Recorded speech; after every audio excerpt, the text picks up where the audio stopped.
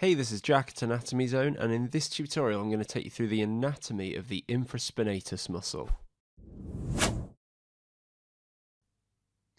The infraspinatus is located on the posterior aspect of the scapula, and it forms one of the four rotator cuff muscles. And those rotator cuff muscles are all found deep to the more powerful superficial shoulder muscles on the scapula and the upper humerus. The infraspinatus originates in the infraspinous fossa, and that's located on the posterior aspect of the scapula, inferior to this, which is the spine of the scapula.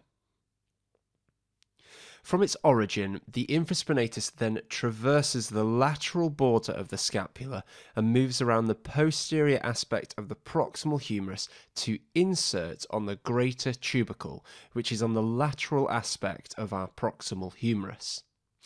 There are three facets on the greater tubercle, and the infraspinatus attaches to the middle facet, with the supraspinatus attaching to the superior facet and the teres minor inserting on the inferior facet.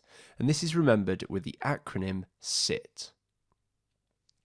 In terms of its action, in isolation, the infraspinatus muscle creates lateral rotation of our arm at the shoulder. However, in real terms, this muscle works with the other rotator cuff muscles to produce dynamic stability at the shoulder joint, so it means our shoulder remains stable whilst we're moving our arm. The infraspinatus gets its nerve supply from the suprascapular nerve. So this nerve arises from the upper or superior trunk of the brachial plexus. And that's typically formed from the ventral rami of the fifth and sixth cervical vertebrae.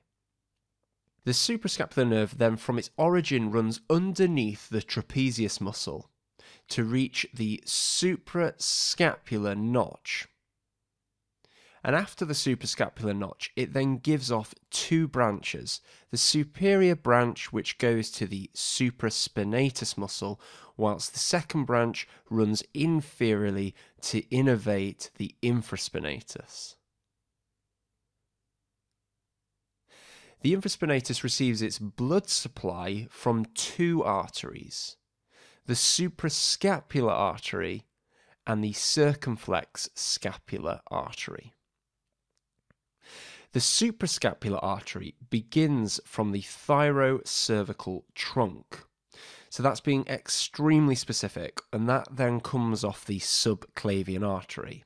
So the suprascapular artery comes from the subclavian artery, but if you want to be very specific, it actually is the first branch of the thyrocervical trunk.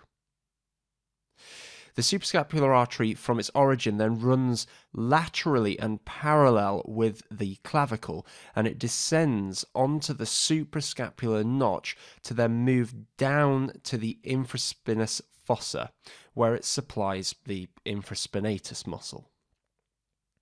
The second artery is the circumflex scapular artery. So the circumflex scapular artery originates as the first branch from the subscapular artery.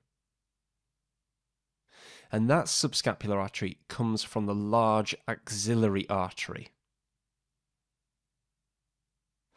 The circumflex scapular artery from its origin then runs down the lateral border of the scapula. And as it runs to the posterior scapula, it actually anastomoses with the suprascapular artery, and those two arteries are the ones that are supplying the infraspinatus muscle. So that's the anatomy of the infraspinatus muscle. I hope you found this tutorial useful, and if you have, please click the like button and don't forget to subscribe, and we'll see you in the next video.